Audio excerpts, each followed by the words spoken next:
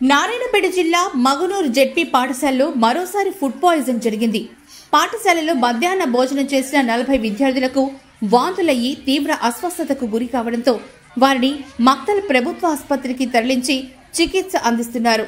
స్థానిక దవాఖానాలో పలువురు విద్యార్థులను మక్తలకు పలువురిని చికిత్స కొరకు పంపించినట్లు తెలుస్తోంది. నేడు మధ్యాహ్నం పాఠశాల విద్యార్థులకు వంకాయ సాంబార్తో కూడిన ఆహారాన్ని అందించారు. తిన్న కాసేపటికే విద్యార్థులకు తలనొప్పి విరోచనాలు కడుపు నొప్పి అంటూ బాధపడ్డారు.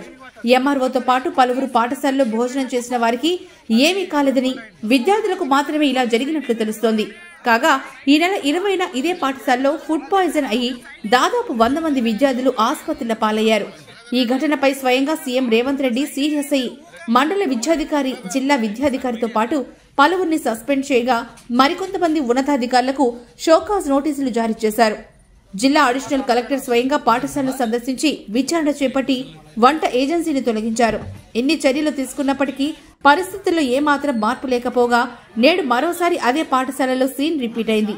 దీనిపై విద్యార్థుల తల్లిదండ్రులు విపక్షాలు ప్రజా సంఘాలు ఆందోళన వ్యక్తం చేస్తున్నారు.